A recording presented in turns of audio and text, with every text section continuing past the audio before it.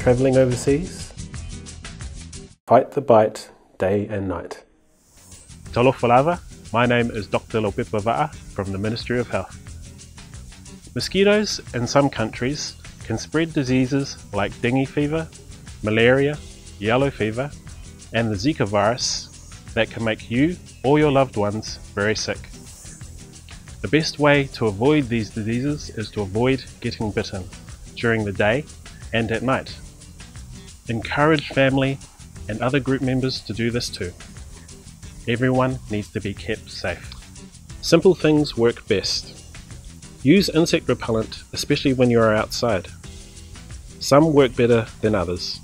You can find more information about this on our website. If you use both sunscreen and insect repellent, put the sunscreen on first and then the repellent. Wear clothes that protect you from mosquitoes. Light coloured, long sleeve shirts, long pants, and hats are ideal. You can spray them with insect repellent to help stop mosquitoes biting through your clothes.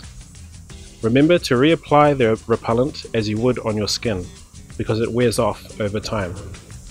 You can use mosquito coils and if you're camping, use insect screens on tents. When you're inside, turn on the air conditioning if you have it. Cool air keeps mosquitoes away. Use insect sprays and try to stay in places with insect screens on windows and doors. If you are not staying somewhere with air conditioning or insect screens, sleep under a mosquito net at night or put on insect repellent before you go to bed.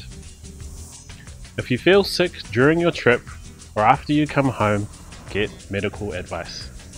If you are back in New Zealand, you can call Healthline for free or see your family doctor and make sure to tell them about your travel.